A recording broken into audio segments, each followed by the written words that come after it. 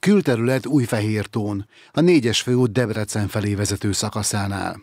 Háztartási szemét, papír, műanyag, ruha a fűben, a bokrok mellett, de találhatunk kidobott hűtőszekrényt, televíziót és WC csészét is.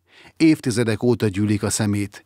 Korábban önkéntes akció során igyekeztek megtisztítani a várost a civil szervezetek.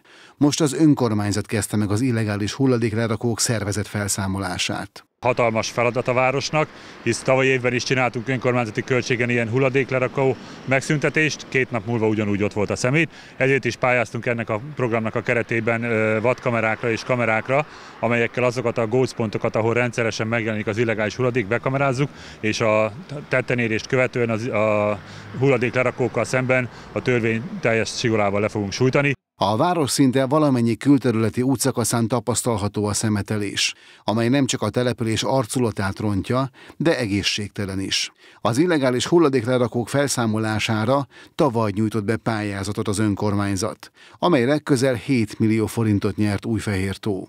Ez a terület korábban személytelepként funkcionált, és sokan még úgy gondolják, hogy ez jelenleg is az, de sajnos már újfejton nincsen lehetőség a hulladék lerakásra, így még mindig sokan azt gondolják, hogy a külterület az arra való, hogy ott szemetet rakjunk le.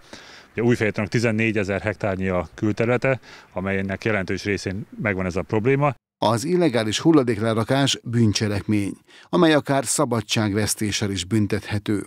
Veszélyes hulladék esetében a büntetés egy évtől öt évig terjedő szabadságvesztés.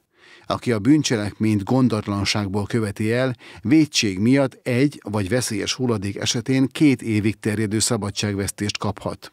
Újfehértón nincs hulladékátvétel. A keletkező szemetet a lakosság a Nyíregyházi hulladéklerakó központba szállíthatja. A lomtalanítási akció során pedig háztól is elviszik a hulladékot.